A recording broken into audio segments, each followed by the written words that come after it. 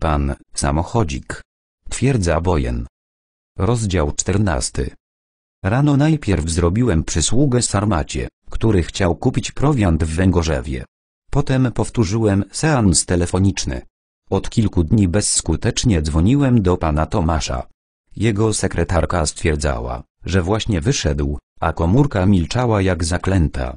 Czułem się beznadziejnie. Leśnik siedział na brzegu i przez lornetkę obserwował żeglujące jachty. Harcerze robili porządki. Czesio z opalali się. Mopsik kulejąc kręcił się po obozowisku. Olbrzym szedł w moim kierunku z jakąś piękną kobietą o złotych blond włosach. Cały jej strój ciasno przylegał do ciała. Na głowie miała kok, z którego wystawało kilka niesfornych loków. Na ramieniu miała torebkę, a na nosie ciemne okulary. Zdjęła je podchodząc do mnie. Dzień dobry, powiedziała i podała mi rękę. Pochyliłem się, żeby pocałować jej dłoń i wtedy zostałem oszołomiony cudownym zapachem. Jestem korespondentką największego angielskiego dziennika na Europę Wschodnią. Nazywam się Margaret Forrest, przedstawiła się. Nieśmiało bąknąłem swoje imię i nazwisko. Ten pan powiedział, wskazała ręką olbrzyma, że pan najwięcej wie na temat tej kwatery. Czy zechciałby pan opowiedzieć mi o niej i naświetlić obecny stan poszukiwań dokumentów Walkirii? Przepraszam, a skąd pani wie o naszej akcji? Dopytywał się olbrzym. Proszę pana, nie jesteśmy lokalnym tygodnikiem. My wiemy wszystko, co się dzieje na całym świecie, odpowiedziała mu. Nie traćmy czasu, niech pan prowadzi. Zwróciła się do mnie i oparła na moim ramieniu. Rad nie rad poszedłem z nią na zwiedzanie kwatery.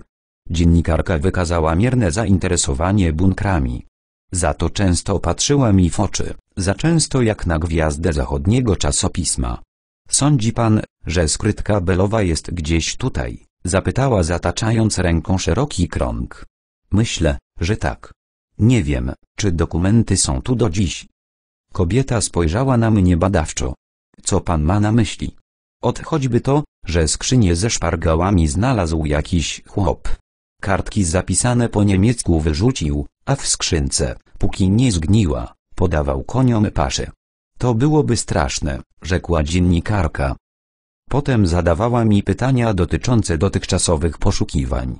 Starałem się nie opowiadać ze szczegółami, ale ona była świetną aktorką. Gdy widziała, że kręcę udawała znudzoną, rozglądała się na boki. Gdy mówiłem rzeczy interesujące jej oczy były wpatrzone we mnie, a usta lekko rozchylone nie dawały spokojnie zebrać myśli. Muszę pojechać do hotelu rozpakować rzeczy, a potem wrócę do ciebie. Nagle powiedziała i odeszła lekko kołysząc biodrami.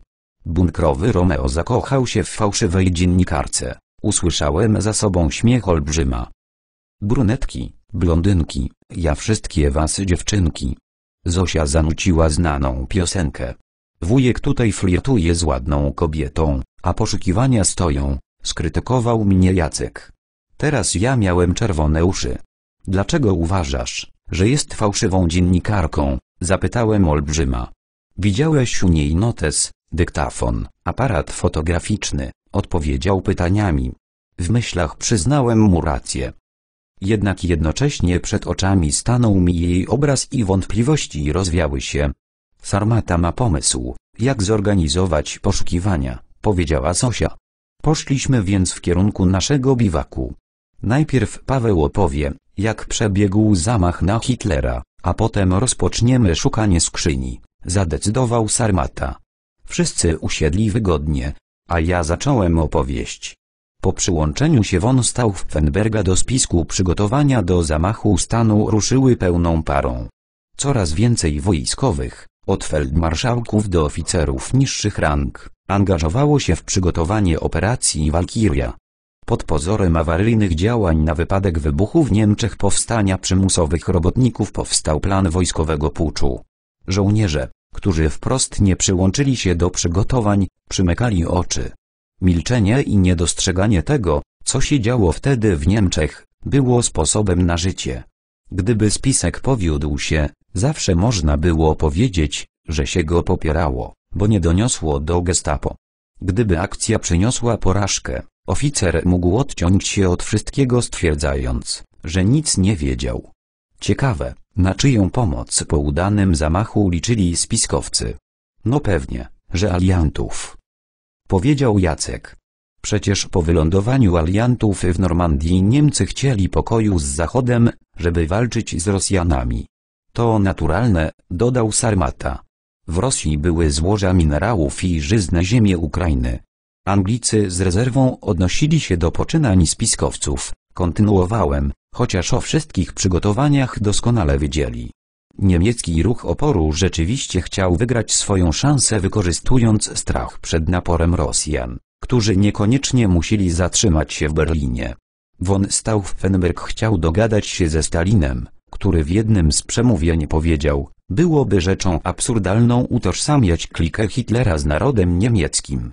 Von Stauffenberg był idealistą i mógł wierzyć w takie propagandowe powiedzonka Stalina. A dlaczego alianci nie poparli spiskowców? zapytała Sosia. Przecież wojna skończyłaby się wcześniej. Tak naprawdę nie było wiadomo, kto przejąłby władzę po zamachu, odpowiedziałem. Może doszli do wniosku, że spiskowcy nie mają wielkich szans, nawet gdyby udało się im zgładzić Hitlera. Może chciano Niemców ukarać. Bano się też pewnie reakcji Stalina, który mógł nie chcieć podpisać przedwczesnego pokoju. Mógł zająć całe Niemcy, żeby w ten sposób zrekompensować swoje straty. Armia Czerwona poiłaby konie w Renie, za blisko granic Francji i brzegów Anglii. Spiskowcy starali się pozyskać dla swoich planów Erwina Rommela, geniusza wojny błyskawicznej. To on w czasie I wojny światowej dowodząc jedną kompanią piechoty górskiej wziął do niewoli trzykrotnie liczniejszą jednostkę włoską. On odnosił ogromne sukcesy w wojnie we Francji w 1940 roku oraz w północnej Afryce, gdzie otrzymał przydomek lisa pustyni. Próbowano go wysądować przez jego przyjaciół. Jeden z nich powiedział o Rommelu, że feldmarszałek nie jest intelektualistą, nie zna się na polityce. To człowiek honoru, który nigdy nie złamie danego raz słowa, tak się o nim wyraził. W końcu udało się zdobyć dwuznaczną przychylność Rommela dla idei odsunięcia Hitlera od władzy. Od 1943 roku problemem spiskowców było znalezienie odpowiedniego momentu do zabicia Hitlera. Obracał się on bowiem tylko w ściśle przez siebie określonym kręgu osób. Hitler stosował się do zasady, jedynym środkiem zapobiegającym zamachowi jest prowadzenie nieregularnego trybu życia i dlatego stał się nieobliczalny. Jednak udało się ustalić tryb jego pracy w kwaterze w Gierłoży. Hitler wstawał o godzinie 10, a do 11 jadł śniadanie i czytał wybrane przez Ribbentropa wycinki z gazet zagranicznych. Potem przyjmował swoich współpracowników i odbywał południową naradę z dowódcami poszczególnych wojsk. O 14 jadł obiad, a od 16 do 18 drzemał. Potem zapraszał do siebie wybrane osobistości, z którymi rozmawiał do 20, do kolacji. Po dwugodzinnym posiłku zasiadał w salonie i wygłaszał niekończące się tyrady. Zasypiał o czwartej nad ranem. Jedynym sposobem było więc dotarcie zamachowca z bombą na naradę wojenną albo towarzyskie spotkanie. Von Stauffenberga jako oficera sztabu Armii Rezerwowej zapraszano na narady. Mógł tam wnieść bombę wykorzystując fakt, że kaleki, bo rękę stracił w Afryce Północnej, nikt nie będzie sprawdzał. Początkowo zamachu miał dokonać 15 lipca 1944 roku. Istnieje nawet zdjęcie z tego dnia. Hitler idzie ścieżką wśród bunkrów, a obok stoi von Stauffenberg. Za nim widać jego adiutanta z teczką, w której była bomba. Dlaczego wtedy nie zabito Hitlera? zapytał Jacek. Von Stauffenberg chciał jedną bombą zabić i Hitlera, i Himmlera, i Geringa. Tych dwóch ostatnich nie było. Zadzwonił więc do Berlina po instrukcję. Tam rozkręcono już plan Walkiria. Nie było wyjścia. Trzeba było wysadzić w powietrze tylko Hitlera. Jednak gdy von Stauffenberg wrócił do baraku narad wszyscy już się rozchodzili. Może już o samym zamachu. Jacek niecierpliwił się. Klausa von Stauffenberga ponownie wezwano do Gierłoży na czwartek 20 lipca. Jego współpracownicy pamiętają, że przygotowując dla Hitlera raport o stanie części dywizji Armii Rezerwowej był spokojny i opanowany. W drodze do domu wstąpił do katolickiego kościoła, żeby się pomodlić. Na moim widnokręgu ponownie pojawiła się dziennikarka. Tym razem była ubrana w obcisłe dżinsy i białą koszulkę z potężnym dekoltem. Jak zwykle pachniało od niej odurzająco. Usiadła obok mnie i słuchała. Dzień 20 lipca miał się na upalny. Von Stauffenberg wstał o 6 rano. Wsiadł do samochodu służbowego i zajechał po swojego adiutanta Wernera von Haeftena, tego samego, który zakopywał dokumenty. Pojechali na lotnisko Rangstorf, na południe od Berlina. Tam czekał na nich Stief, który zdobywał bomby dla zamachowców. O godzinie siódmej wystartowali samolotem wysłanym po nich przez Wagnera. Bomba była ukryta w teczce, zawinięta w koszulę. Był to ładunek produkcji angielskiej. Po skruszeniu szklanej kapsułki wypływał z niej kwas, który przeżerał drut zwalniający iglicę. Moment wybuchu zależał od grubości drutu, a Stiefy założył najcieńszy. Zapasową bombę wiózł HF ten. Samolot wylądował koło Gierłoży o godzinie 10. Naradę wyznaczono na 13. Von Stauffenberg poszedł do Feulgiebla, który w decydującym momencie miał odciąć węzeł łączności kwatery od reszty kraju. Spiskowcy jak na szpilkach czekali na wieści z Gierłoży. Tuż przed naradą von Stauffenberg poszedł do biura Keitla, gdzie w przedpokoju specjalnie zostawił swoją czapkę i pas. Gdy obaj wychodzili zamachowiec wrócił po czapkę, a przy okazji zgniótł kapsułkę. Wchodząc do baraku krzyknął do telefonisty, że czeka na ważny telefon z Berlina. W pokoju narad o wymiarach 6 na 14 metrów środek zajmował ciężki stół. Von Stauffenberg postawił teczkę jak najbliżej Hitlera i wyszedł pod pozorem, że musi zadzwonić do Berlina. Natychmiast poszedł do biura Felgiebla.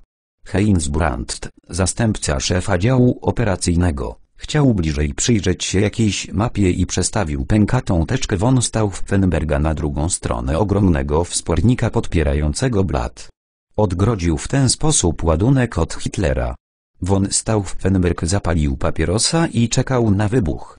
Eksplozja nastąpiła o godzinie 12.42. Zamachowiec przekonany, że Hitler zginął wskoczył do samochodu i kazał się wieść na lotnisko. Mijał posterunki SS stwierdzając, że ma pozwolenie na wyjazd wydane przez szefa ochrony kwatery. Barak narat rozpadł się prawie całkowicie. Hitler jednak przeżył i miał jedynie ranną rękę, popalone spodnie i był lekko ogłuszony. Gdzie w chwili zamachu był Below, ten adiutant Hitlera, nagle zapytała Sosia. Oj, masz nosa. Below stał przy oknie, w najdalszym kącie pomieszczenia, jak najdalej od bomby. Razem z nim stali dwaj oficerowie SS. Mogłoby to świadczyć o tym, że wiedzieli, gdzie von Stauffenberg podłoży bombę. Może to być tylko nasz domysł i to bardzo fantazyjny. A co z puczem? pytał Jacek. Wojsko wkroczyło na ulice stolicy, a także francuskich miast, gdzie rozpoczęto nawet aresztowania członków NSDAP. Spiskowcy mieli szansę przejąć władzę. Jednak wieść o tym, że Hitler żyje spowodowała niezdecydowanie. Takiej okoliczności nie przewidzieli i nie byli na nią przygotowani. O wieczorze i po południu 20 lipca można by nakręcić wspaniały film, z doskonałymi rolami dla dobrych aktorów. Oficerowie przeżywali tego dnia rozterki i zadawali sobie pytanie, czy brnąć dalej. Właśnie te dyskusje wykorzystali naziści, żeby odzyskać władzę. W nocy Hitler wygłosił radiowe przemówienie do narodu, w którym swoje ocalenie uznał za zrządzenie opatrzności. Tej samej nocy von Stauffenberg, HF ten, Olbricht i jeszcze jeden spiskowiec zostali rozstrzelani na mocy wyroku sądu doraźnego. To co potem się działo w Niemczech można nazwać polowaniem na czarownicę. Znanym generałom pozwolono popełnić samobójstwo.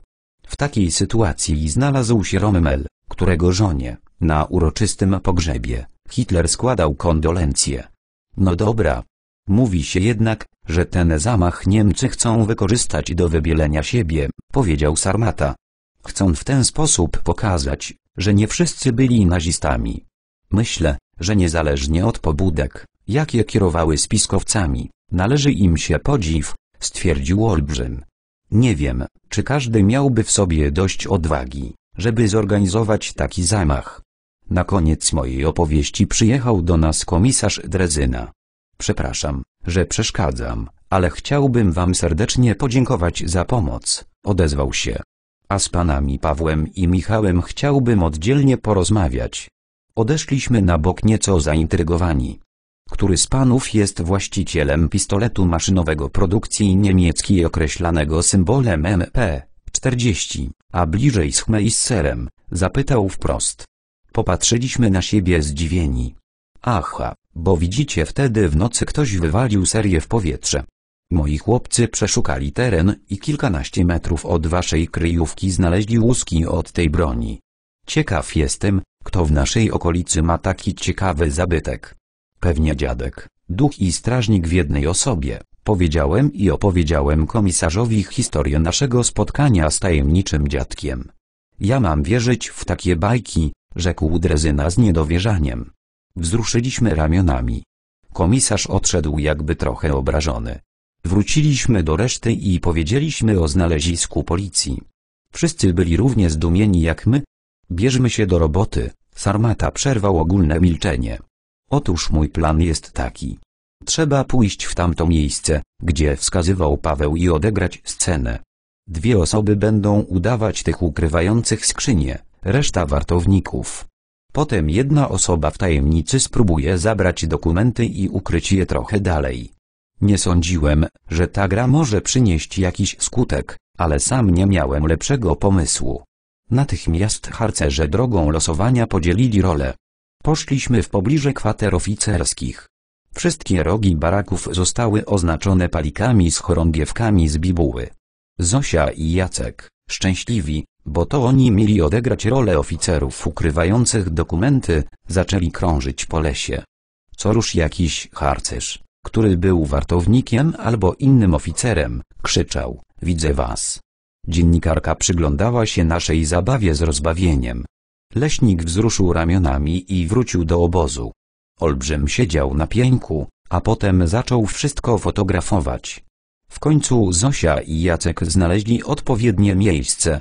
Wszyscy tam pobiegli. Widać, że rosło tam kiedyś olbrzymie drzewo, a teraz został tylko ogromny lej po jego korzeniach. Harcerze zaczęli nożami sprawdzać ściany dołu.